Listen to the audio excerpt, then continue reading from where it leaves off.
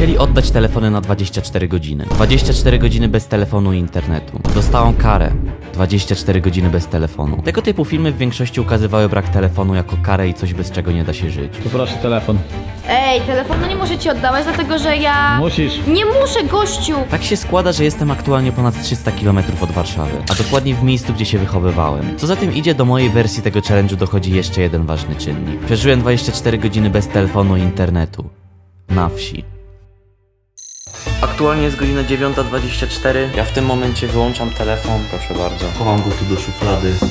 I widzimy się dopiero za 24 godziny. Po tych słowach zająłem się porannymi czynnościami, czyli zrobiłem serię pompek, umyłem twarz oraz zęby. To jest moje jedyne urządzenie elektryczne dzisiaj, którego mogę używać. Poza kamerą. Dobra, no i teraz przychodzi ciężki moment, bo trzeba się czymś zająć, co nie? Więc pomyślałem, że zbiorę od wszystkich domowników zamówienia. Pójdę do sklepu, kupię jakieś śniadanko, w ten sposób się czymś po prostu zajmę i nie będę potrzebował telefonu. Dobra, zamówienia pozbierałem, wiem co mam kupować. Sklep stąd, z mojego domu jest jakieś 10-15 minut, będę szedł wolno, bo i tak w sumie nigdzie mi się nie śpieszy. Jak widzicie, pogoda, pogoda dzisiaj jest bardzo fajna, także to jest bardzo duży plus. Zwyczajnie będę mógł trochę czasu spędzić na dworze. Ogólnie, jedną sprawą, która już zauważam, że trochę mnie dotyka, jest to, że tu zawsze noszę telefon. I dzisiaj teraz go nie mam w tej kieszeni. Mega dziwnie się czuję z tym, że go nie mam. Dodatkowo, wychodząc z domu, przypomniałem sobie, że muszę wziąć portfel i prawie bez niego wyszedłem, bo zazwyczaj płacę telefonem po prostu. No ale mam portfel, będę w stanie zrobić zakupy. Po zrobieniu zakupów przygotowałem sobie śniadanie. 250 gramów twarogu zalałem wrzątkiem, a po wymieszaniu go dodałem skyr waniliowy, dwa banany i garść orzechów włoskich. Tak to się prezentuje końcowo, no co mogę powiedzieć? Gdzie bym nie był, jaki by to dzień nie był, makro musi się zgadzać. Na pewno dość, że jest smaczne, to jest fajne białeczko z tego. Dzisiaj właśnie też będę miał z tym problem, bo nie mam jak liczyć kalorii, więc muszę sobie szacować. Jak widzicie w ogóle jestem w innym pokoju niż na początku. Myślę, że mogę powiedzieć o właśnie najważniejszej rzeczy w tym challenge'u. Czyli właśnie o tym, dlaczego akurat tutaj się znajduję w tym momencie w ogóle i dlaczego tutaj postanowiłem, że odpocznę sobie od internetu. A jest to dlatego, że w tym pokoju się wychowywałem. W sensie pierwsze 10 lat swojego życia tutaj mieszkałem i przyjechaliśmy zrobić remont tego domu. Te ściany tutaj były niebieskie jeszcze wczoraj, dzisiaj już są białe, bo po prostu malowałem razem z tatą. I również dzisiaj będę miał zajęcie, bo są dwa pokoje jeszcze do zrobienia. No, także ja się biorę za to jedzenie, kończę śniadanie i biorę się do roboty. Gdy skończyłem jeść śniadanie, przebrałem się i zająłem się malowaniem, które pozwoliło mi nie myśleć o telefonie. A trwało ono łącznie ponad dwie godziny. Dobra, jak tu widzicie, robota jest skończona. Tu wszystko na biało zostało przejechane, jest odnowione. I jest podstawowy problem, nie wiem, która jest godzina. To znaczy, domyślam się, że jest około 13.30. Wy macie tam godzinę, jaka jest, ja nie mam jej. Nie mam jak tego sprawdzić. I co jest najgorsze, nie wiem, co ze sobą teraz zrobić. To znaczy, mamy tam chwilę przerwy do odsapnięcia. Normalnie pewnie bym wziął telefon, coś bym sobie pooglądał na telefonie. A w tym momencie nie wiem, co mam robić. Bo właśnie tak ogólnie tu jest jeszcze ten jeden pokój do odmalowania. Się, że no tu z nim nie będzie za dużo roboty. Wręcz myślę, że to w jakąś godzinkę będziemy w stanie ogarnąć. Że tutaj wokół okna już jest zrobione, to robiłem wczoraj. I zostanie mi bardzo dużo czasu wolnego przez to. Ogólnie jak widzicie mam brodę, dostosowałem się do sytuacji, a to przez to, że zapomniałem wziąć żyletki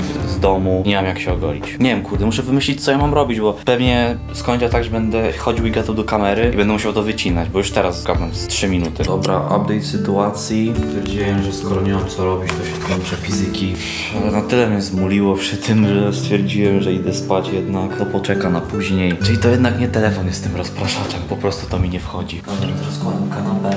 I nie mam pojęcia za ile się widzimy, bo nie mogę ustawić budzika, tak to. Ja sobie często robię takie drzemki podczas dnia, tylko zazwyczaj robię tak, że na przykład właśnie ustawiam sobie budzik na pół godziny później i w ten sposób mogę kontrolować czas, ile ta drzemka trwa. W tym momencie to zależy wszystko od mojego taty, powiedziałem mu, że mnie obudził jak będę potrzebny, także we will see. Jeszcze szybko ocena formy. Bicu siedzi, co? Łącznie pospałem około 30 minut, a to dlatego, że tata postanowił zabrać mnie do najbliższej galerii handlowej na obiad. Jesteśmy już na jedzeniu, jak widzicie tutaj poszliśmy do Sfinksa i muszę powiedzieć, że zaczyna mi brakować tego telefonu. Czy to jak jechałem w samochodzie, czy to jak siedzę teraz tutaj, poklikałbym sobie w jakieś różne rzeczy. Najbardziej mi w sumie brakuje, żeby sprawdzić Messengera, czy ktoś do mnie nie napisał. W swojej głowie jestem przekonany, że ktoś do mnie napisał i na pewno jest to jakaś ważna sprawa. Mimo, że tak naprawdę nikt nie napisać nawet. Mimo wszystko myślałem, że będzie ciężej, myślałem, że moje uzależnienie od telefonu jest większe. Z drugiej strony no też cały czas miałem co robić i dzięki temu mogłem uciekać myślami do innych rzeczy. Teraz siedzę i, i trochę nie mam co robić, więc myślałem, że sobie nagram relację. Po zjedzeniu porządnego obiadu pojechaliśmy jeszcze na zakupy do Lidla i w ten sposób zrobiła się godzina 17.30. Jest już po 17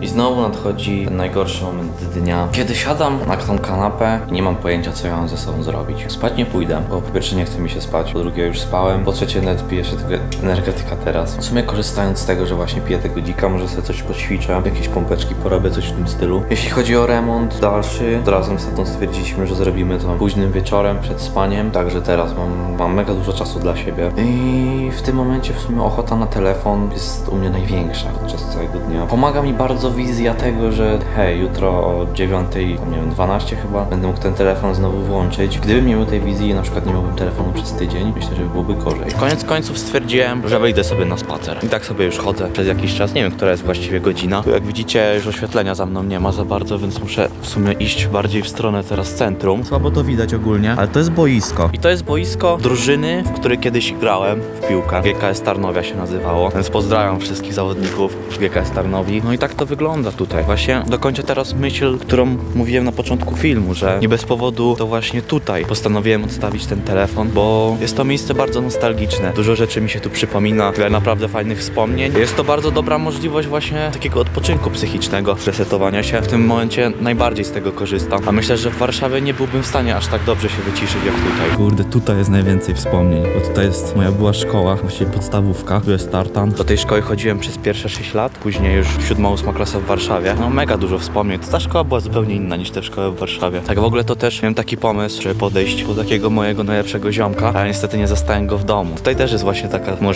czego w Warszawie w sumie ciężko by było, że po prostu przychodzicie do kogoś znanego pod dom i albo jest i wyjdzie, albo go nie ma po prostu. Nie musicie nawet pisać, dzwonić. Bardzo możliwe, że w sumie teraz nawet kogoś spotkam znajomego, idąc sobie do parku. To wszystko ma swój klimat i jeśli miałbym wybierać, gdzie wolę mieszkać, no to wolę mieszkać w Warszawie. Wiadomo, że większe możliwości i tak dalej. Ale koniec końców, jak to sobie to wszystko wspominam, co tu się działo, jak to teraz wygląda, to warto to docenić. I doceniam to po prostu z czasem, bo to wszystko są wspomnienia i to bardzo fajne wspomnienia. Dobra, patrzcie co tutaj jest, siłownia miejska. Chyba trzeba się sprawdzić na wiejskim drążku, jak to wygląda. Korzystając z tej siłowni miejskiej, chwilę sobie na niej poćwiczyłem, a następnie bardzo wolnym krokiem wróciłem do domu. Podsumowując cały ten spacer, był to najlepszy moment podczas całego dnia. To, że chodziłem samemu bez żadnych rozpraszaczy, pomogło mi przemyśleć wiele prywatnych spraw i przy tym mocno odpocząć psychicznie. Po powrocie do domu rodzice zabrali mnie na Tarnowskie Termy, czyli jedną z najlepszych tutejszych atrakcji. O, ale się zajebałem koksem, widzowie. Taki seans saunowy wleciał, później jacuzzi. Młody Bóg jestem naprawdę. Psycha w tym momencie jest na takim wysokim poziomie, że w połączeniu z tym resetem telefonicznym ja wracam do Warszawy. 120 na klatę z charakteru idzie, naprawdę. Tak wypocząłem mentalnie, że to jest jakiś hit. Jak macie taką możliwość, polecam każdemu, po prostu serio. Odstawcie ten telefon pierdolony, zobaczycie jaka to jest zmiana po prostu, że odcinacie się od tego świata. Dobra, teraz już wracam na chatę i pewnie będę jeszcze malował dzisiaj, że to nie koniec dnia. Jaki ten dzień jest w ogóle długi. Tyle rzeczy robię, tyle on trwa, a jeszcze nie jest koniec. Nie wiem, która jest godzina. A nie, w sumie jest chyba 22 teraz jakoś, się orientuję. Słuchajcie, przyszedł teraz taki moment krytyczny i to taki naprawdę najgorszy. Z całego dnia dużo nie minęło, tak naprawdę pewnie z 15 minut, od kiedy przyjechałem z tych term. Teraz chodzę, po prostu jakąś zapalniczkę znalazłem i sobie klikam, zająć czymś ręce. A powiem wam może dlaczego tak teraz się stało, dlaczego mnie teraz tak wzięło, było super, tak wszystko świetnie gadałem, ale generalnie ja ten telefon dzisiaj rano zostawiłem na dole, w tym pokoju, w którym wstałem i musiałem go dzisiaj przenieść, w sensie teraz musiałem go przenieść do tego pokoju, w którym teraz się znajduję, on jest na górze. No i ten telefon teraz jest tutaj, ja z tym nic nie robiłem, jest wyłączony dalej. Ale sam fakt tego, że wziąłem go do ręki sprawia, że strasznie przyszła mi, wróciła mi ta ochota na używanie go. Chciałbym sprawdzić statystyki na YouTubie, poczytać Messengera, zobaczyć co się dzieje w internecie. No i to jest najgorszy moment, ale jakoś sobie dam radę. No muszę teraz na to malowanie iść, zajmę się robotą, skończę to, pójdę spać. Jutro już rano mam nadzieję, że wstanę o tej dziewiątej i zakończymy to, nie przegrywając tego challenge'u. Po tych słowach zabrałem się za malowanie. Z początku szło mi ono słabo i czułem się mocno zdekoncentrowany, przez co robota szła mozolnie. Z czasem jednak udało mi się opanować swoje myśli, a cały pokój skończyłem robić w niecałe 3 godziny. I dobra, robota skończona, wszystko już właściwie ustawione, tylko zostało posprzątać podłogi. Wszystko jest odmalowane. Jak widzicie, jestem upierdolony farbą, jestem spocony, jestem zmęczony. Jeszcze na mnie czekała lasagna w lodówce, miałem ją sobie zrobić po skończonej robocie, Uff, ale już tego nie zrobię. Jest po pierwszej, nie wiem, która dokładnie. Ja się idę myć i idę spać. Dobranoc wszystkim. Wstaje nowy dzień, wiem, zobaczyłem słońce. Najwyższa pora zarobić pieniądze. Witam Państwa. Nie wiem, która jest godzina aktualnie. Wstałem. Słyszę, że ktoś chodzi po domu, także obstawiam, że jest już po ósmej. Muszę się ogarnąć. Spytam się, która jest. Nie chcę jeszcze tego telefonu brać do ręki. Okaże, że jest za wcześnie. No więc tak jak powiedziałem, idę ogarnąć sytuację. Okazało się, że była godzina około 8.40, jak wtedy nagrywałem. Teraz już jest mniej więcej 8.50. Postanowiłem się jeszcze przejść. Tym razem po takich trochę już bardziej wiejskich terenach. Tu wam chciałem to miejsce pokazać. Bo widzicie, no tutaj specjalnie nic nie ma. Ale tak się składa, że z tym miejscem mam sporo takich wspomnień z dzieciństwa, ponieważ tutaj mieliśmy zrobione boisko i to jest talk. Tam zawsze była jakaś kukurydza albo coś i przed tą linią kukurydzy stała bramka. W średniej wielkości bramka stała i tu się wszyscy właściwie z wszystkich osiedli sąsiednich schodzili. Dosłownie mój dzień wyglądał tak, że wracałem ze szkoły, jadłem obiad i z nikim się nie umawiając wychodziłem z domu, przychodziłem tutaj, zawsze ktoś był. No teraz widzicie, jest pustka totalna, nikt z tego nie korzysta, pozasychane jakieś siano. Ale to są fajne czasy i bardzo się cieszę, że się w ten sposób mogłem wychowywać, że jeszcze byłem takim rocznikiem, którego nie pochłonął ten internet od początku życia. Pospacerowałem sobie tak jeszcze chwilę. Później poszedłem do sklepu zrobić zakupy i co ważne wziąłem z niego paragon. Ten paragon jest ważny o tyle, że jak widzicie, tu mamy godzinę. I dzięki niemu wiem, że jest już 9.33. To oznacza tyle, że minęło już ponad 24 godziny od kiedy ostatni raz użyłem telefonu, więc w tym momencie wracam już na chatę. Dobra, wchodzę Dobra, jestem już w pokoju. i tutaj czeka na mnie telefon.